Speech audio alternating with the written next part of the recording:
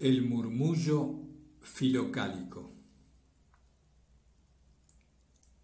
Un murmullo, un impulso atraviesa esos mil años de oración, esos mil años de búsqueda. El deseo de contemplar la belleza de Dios oculta en la creación y el deseo de contemplar esa belleza que está por encima de toda creación. Una sed incontenible, una sed insaciable, pero al mismo tiempo una sed serena, apacible, una sed humilde que aprende a esperar, a alcanzar su meta sin violentar nada ni a nadie. Sed de ver a Dios. Hablamos de visión para referirnos al conocimiento perfecto, al conocimiento que ha alcanzado su plenitud. Un conocimiento que es amor al mismo tiempo, porque conocer a Dios es conocer al amor ya que Dios es amor. Y conocer ese amor supone ir transformándose en Él y dejarse transformar por Él. Así se van los tres dilatando, el conocimiento, la visión y el amor. A medida que crece la humildad, esa disposición del corazón que permite ir acogiendo más y más a Dios. Disposición interior que no es otra cosa que la limpieza, la pureza del corazón. Los padres vigilantes. El término griego para hablar de la vigilancia es nepsis, una virtud que es condición fundamental para comenzar mantenerse y progresar en la vida espiritual. La continuidad engendra la costumbre y ésta otorga a la vigilancia una cierta densidad natural, escribía Esiquio de Batos. Esta atención continua es la que hizo prudentes y sabias a las vírgenes del Evangelio. En la doctrina filocálica, la vigilancia presenta una progresión. Para los que comienzan, está vinculada al miedo a la muerte y al juicio final. Velad porque no sabéis cuándo será el día ni la hora. Después, la vigilancia se convierte en un austero ejercicio de atención frente a todos los pensamientos que asaltan a la mente para suprimirlos de raíz. Gracias a esta rigurosa vigilancia, el espíritu alcanza una claridad interior muy equilibrada y penetrante, que lo defiende de toda turbación. De este modo, la vigilancia introduce en la plena esiquía, palabra griega de difícil traducción que significa a la vez una paz, una calma, una ternura y dulzura inefables y permanentes en el corazón, gracias a la cual todo pensamiento se apacigua y el monje puede entregarse a la contemplación pura sin ser distraído por ningún movimiento interior ni exterior. Con palabras de Esiquio de Batos. La vigilancia es un método espiritual que, mantenido con perseverancia y ardor con la ayuda de Dios, libera totalmente al hombre, tanto de sus pensamientos y palabras llenos de pasión como de sus acciones perniciosas. La vigilancia proporciona también un conocimiento certero del Dios incomprensible y abre a los misterios divinos y escondidos. La vigilancia hace observar todos los mandamientos de Dios, tanto los del Antiguo como los del Nuevo Testamento, y concede todos los bienes de la vida futura. La vigilancia es propiamente la limpieza de corazón, una pureza que raramente se encuentra hoy en día por culpa de nuestra negligencia. Esta es la vigilancia que Cristo exaltó cuando dijo, Felices los limpios de corazón, porque verán a Dios. Los escritos de los padres habitados por Dios. Habitados por Dios es la traducción del término griego teoforoi, un término denso que expresa la calidad espiritual de los monjes que han alcanzado la perfección, es decir, la divinización. Son hombres que ya no se pertenecen a sí mismos, sino que el Espíritu habla a través de ellos, y ellos solo hablan en el Espíritu. Por esta presencia total de Dios en ellos, la Iglesia de Oriente concede a sus palabras y a los hechos de sus vidas casi la misma autoridad que a las escrituras. Todos los padres han recibido el mismo Espíritu Santo dice explícitamente Pedro Damasceno. E inmediatamente después deja escapar una confidencia. En el mismo instante de tomar la pluma y de ponerme a escribir, descubría lo que tenía que decir. A partir de ese momento, estaba habitado por aquel que me obligaba a escribir.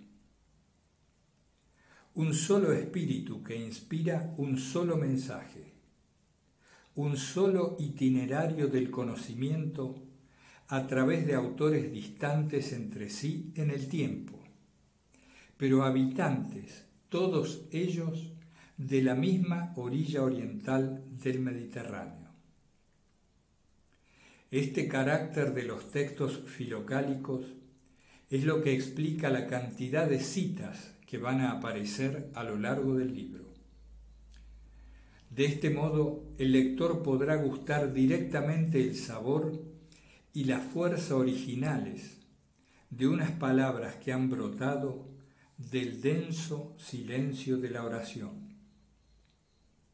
Como dice de nuevo Pedro Damasceno, no sería justo ocultar sus palabras para dejar paso a las mías. Una sabiduría de vida hecha de ascesis y de contemplación. He aquí los dos grandes polos de la experiencia espiritual. La ascesis, que es el trabajo del cuerpo y del corazón, y la contemplación de Dios, que se alcanza por la oración y que constituye el trabajo y el descanso del espíritu. Ascesis y contemplación forman un solo movimiento en dos tiempos indisociables, desde el comienzo hasta el final del recorrido. La contemplación es una acción en potencia y la acción es una contemplación activa.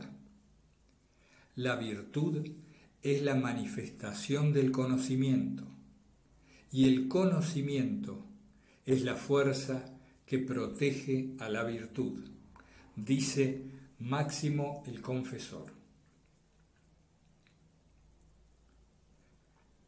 Considerando el orden de aparición, el conocimiento precede a la acción, ya que la acción recibe del conocimiento su impulso y su luz.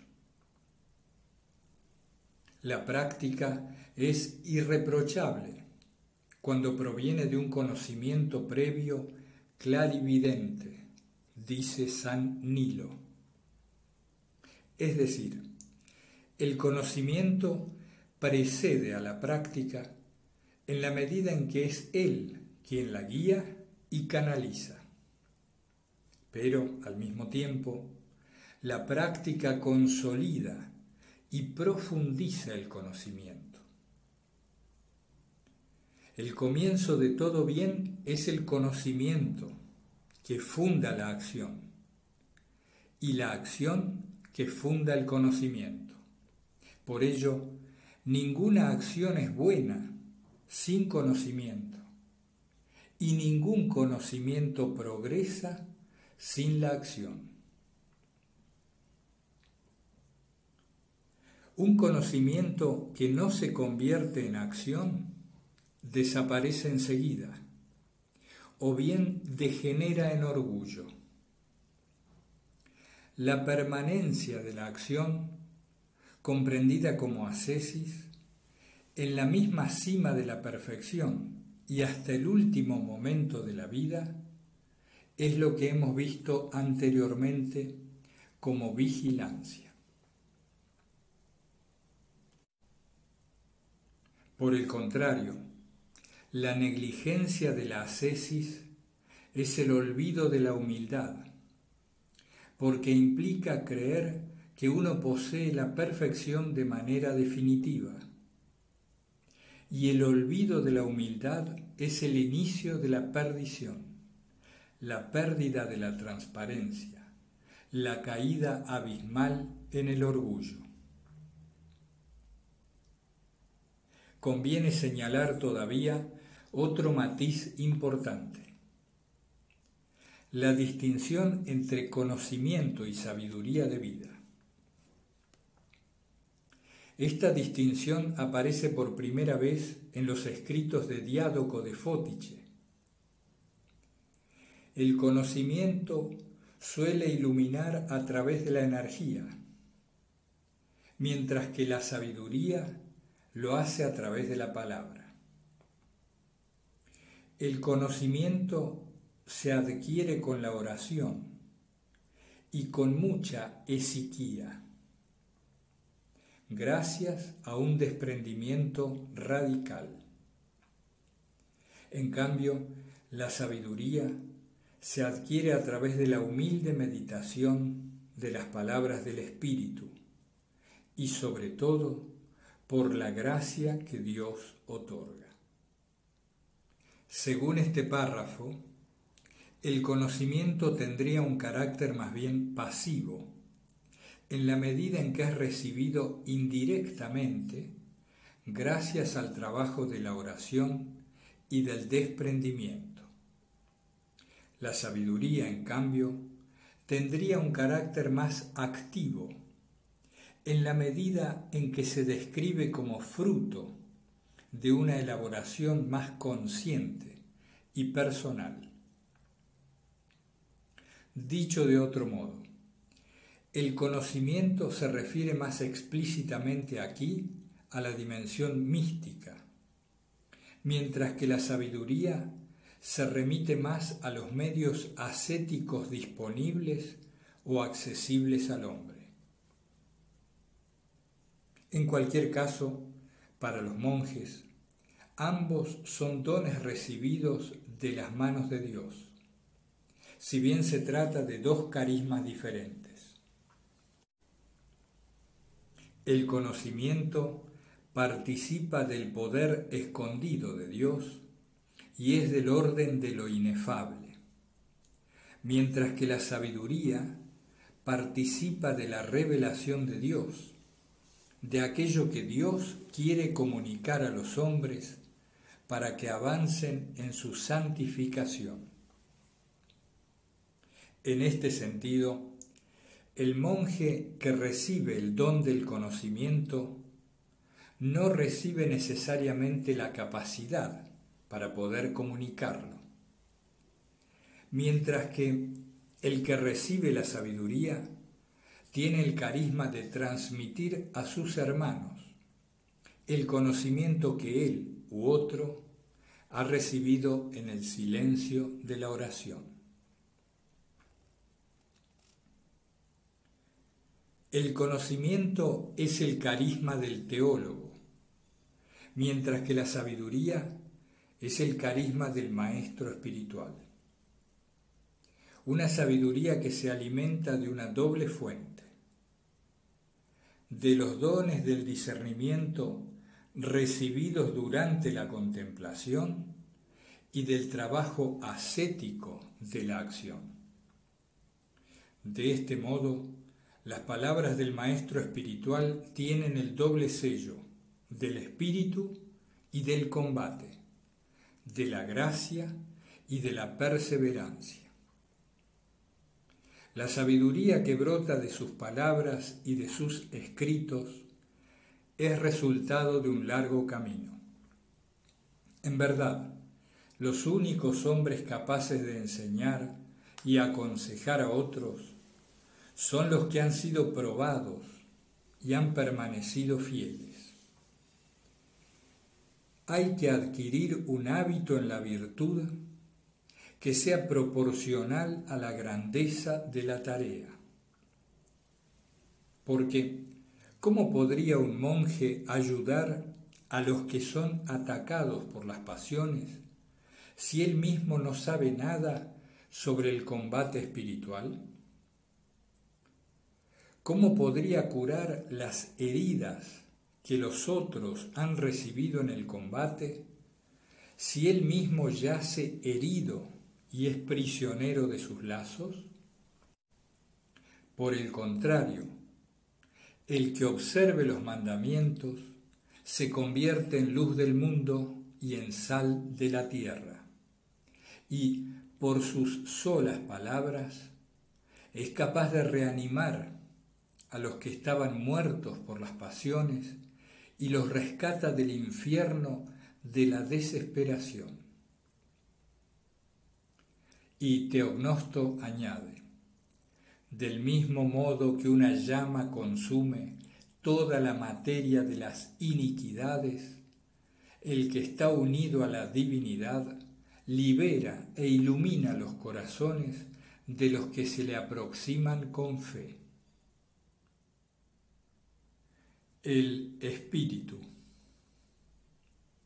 Aunque pueda parecer una cuestión excesivamente técnica, merece la pena que nos detengamos un poco en esta palabra, espíritu, porque es una traducción discutible del nous griego y porque está ligada a otros términos que nos van a introducir en la antropología de los padres filocálicos y de la Iglesia de Oriente.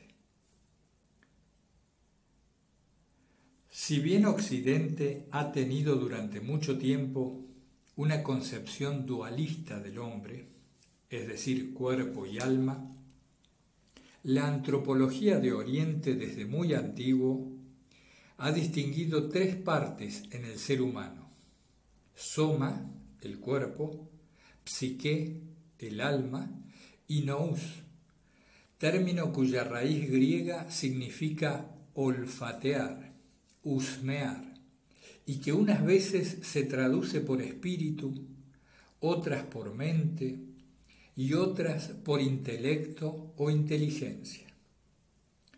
Esta es la confusión o ambigüedad que conviene aclarar. La distinción de estos tres ámbitos en el ser humano proviene del platonismo. Por lo que se refiere al nous, Platón lo había recibido de otros pensadores tras una elaboración sucesiva. Homero lo había utilizado para referirse a la capacidad de percibir el sentido auténtico de una situación o de un comportamiento, más allá de las apariencias.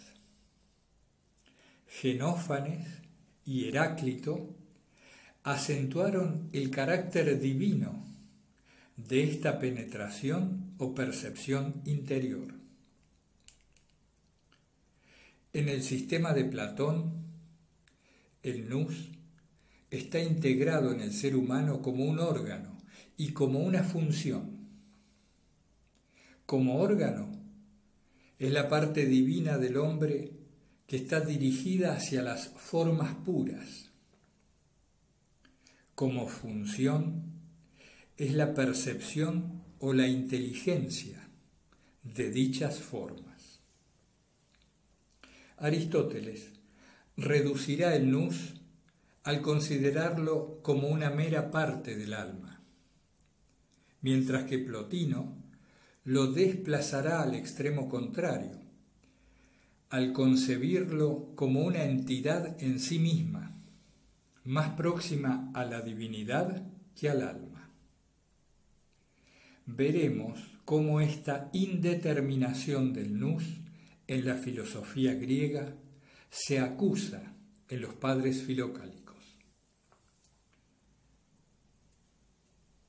Sin embargo, para nosotros occidentales, el solo hecho de la distinción entre la psique, alma, y el nous, mente o espíritu, ya permite abrirnos a una comprensión o localización más rica de la experiencia de Dios. Para los padres, de la misma manera que el cuerpo es la morada de los sentidos materiales, el alma es la morada del nus, que es el órgano de los sentidos espirituales, el órgano que percibe lo divino. El nus sería, en este sentido, como el ojo del alma. Para el cuerpo, la visión se produce a través de los ojos. Para el alma, la visión se produce a través del nus. Sin embargo, dada la indeterminación platónica, esta integración del nus en el alma no es tan clara. Y a veces el nus aparece en algunos escritos filocálicos como la sola dimensión del ser humano muy diferenciada del alma, por cierto, que tiene acceso a Dios y a la contemplación. El nus no es el alma, sino un don de Dios que salva al alma. El nus que agrada a Dios precede al alma y la aconseja, y ésta contempla las realidades celestes gracias a Él. Ante esta ambigüedad, entre un nus que formaría parte de la naturaleza del alma y un nus que estaría más allá del ámbito humano, perteneciendo a la esfera de lo divino, valga por el momento esta descripción. El alma está situada en la frontera entre la luz que ven los sentidos y la luz que ve el nus. En este sentido, el alma haría de intermediaria entre el nus y los sentidos, que se oponen por la energía de sus naturalezas respectivas. queda todavía otra cuestión por resolver. ¿Qué término castellano traduce más fielmente el nous griego? La versión francesa de la filocalía ha optado por el término inteligencia. Es cierto que nous tiene una connotación mental y cognitiva de gran importancia. Pero inteligencia, como también mente o intelecto, reduce su campo semántico y lo desplaza excesivamente hacia el ámbito de lo mental o de la razón. En estas páginas, Nus va a ser traducido por espíritu, conscientes de que también esta opción contiene sus ambigüedades. La ambigüedad mayor es que puede confundirse con pneuma, otro término griego que traduce estrictamente el espíritu en su sentido bíblico, el ruach hebreo. Pneuma designa más explícitamente que nous el carácter sobrenatural y gratuito del espíritu. Pero los padres filocálicos, espíritu nous, significará aquí aquella parte del ser humano vuelta hacia Dios, el órgano por excelencia del conocimiento espiritual, ese conocimiento que irá desplegándose a lo largo de nuestro recorrido. Es purificado, iluminado y alcanza la perfección. Estos tres últimos términos recogen los tres grados clásicos de la vida espiritual. La purificación propia de los novicios, la iluminación propia de los medianos y la perfección propia de los hombres que han alcanzado la divinización.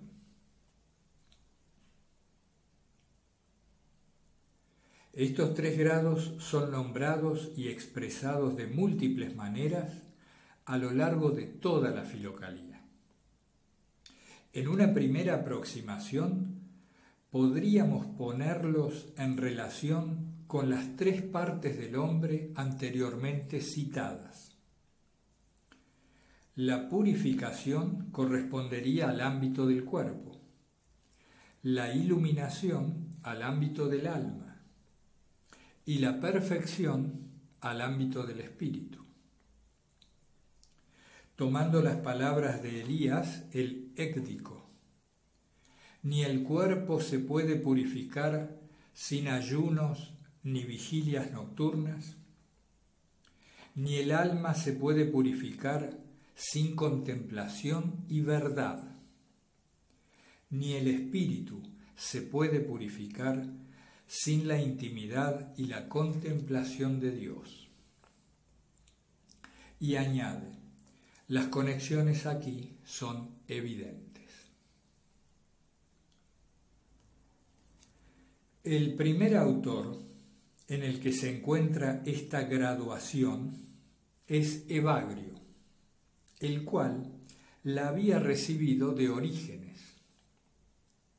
Después la encontramos en Máximo el Confesor, el cual habla con frecuencia de la filosofía práctica, es decir, la práctica de la ascesis y la ciencia sabia y sutil de la virtud, por las cuales deben empezar los debutantes.